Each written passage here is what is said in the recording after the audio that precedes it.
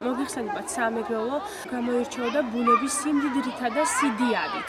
ჯერ კიდევ მე-19 საუკუნეში დავით დადიანისა და ეკატერინე ჭავჭავაძის ქალიშვილის სალომე დადიანის მეუღლისა აშილ მიურატის ამალას სწავლობდა ქვეყნის ბუნებრივ სიმდიდრეებს, კერძოდ ტყეებს. ფრანგი ავტორის ბუჟეს მიერ შემუშავებული იქნა პროექტი კავკასიის ტყის ექსპლუატაციის პროექტი. გასათვალისწინებელია ხე-ტყის დამუშავების პროცესი. მითითებულია, რომ ნაჯახით ხეების მოჭრა საზარაოა, ვინაიდან ნაჯახით ხის მოჭრისას ხის მნიშვნელოვანი ნაწილი იკარგება. სწორედ ამიტომ ნაჯახი ხერხით უნდა შეიცვალოს, მაგრამ უნდა ითქვას, რომ ხერხის ხმარებასაც დახელოვნება უნდა. იქვე ლაპარაკია ხერხით მოჭრილი ხეების გასხლაზე, რაც უნდა მოხდეს აუცილებლად სულით.